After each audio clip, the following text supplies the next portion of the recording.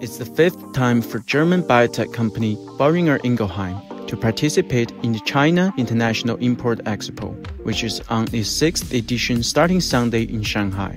Pavel Dobrocky, President and CEO of Boehringer Ingelheim Greater China, said that the company is eyeing growing opportunities in the Chinese market, especially because of the country's favorable business environment. Thanks to the regulatory reform uh, in China, where the drug evaluation and approval mechanism have been aligned with the global approval and evaluation mechanisms, and our China Key project, which fully incorporates China into our global early clinical development program, we could greatly speed up introduction of our innovative medicines in China. Over the next five years, the company plans to invest over 4 billion RMB in R&D in China focusing mainly in human pharma on R&D pipeline,